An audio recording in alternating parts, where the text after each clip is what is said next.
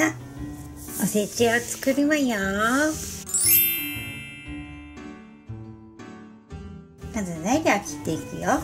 れんこんに里芋。ぬめぬめするよ。そして人参。ごぼうあ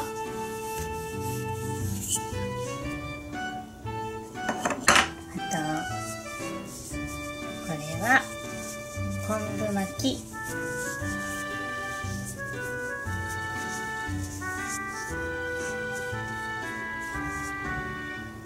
材料煮ていくよ。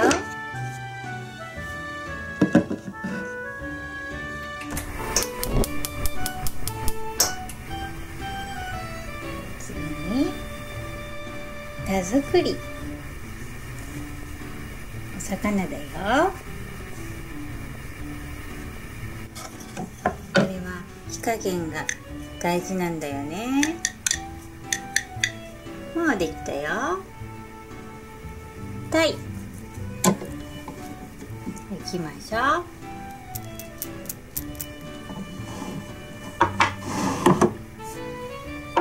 こちらも。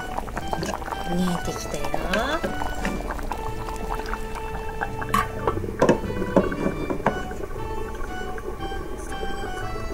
うん。いい感じ。カットしていくよ。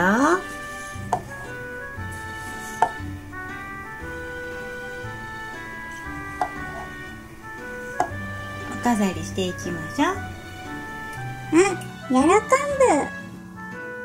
そうだね。小巻きは、喜ぶの語呂合わせで、祝いに欠かせない食材なんだよ。これ大好き。綺麗な色でしょ？この色から、裕福になる縁起物ってされてるんだよ。これは？田作り。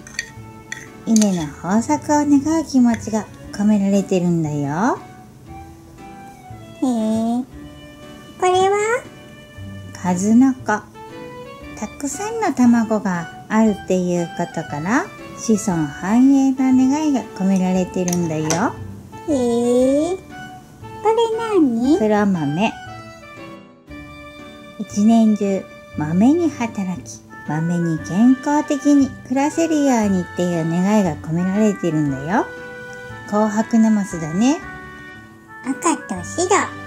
紅白のおめでたい色、平和を願う縁起物なんだよ。これはエビだね。そうよ。腰が曲がるまで丈夫という長寿の願いが込められてるんだよ。このエビの赤色が魔除けな色とも言われてるよ。いろいろ意味があるんだね。そうだよ。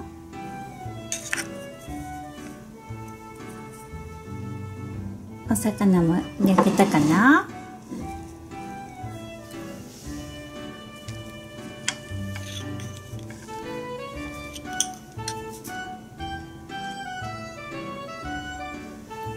完成。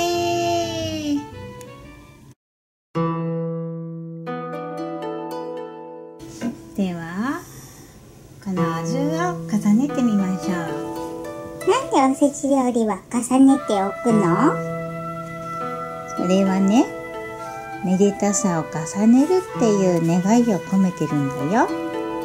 1の10、2の10、3の10って言うんだよ。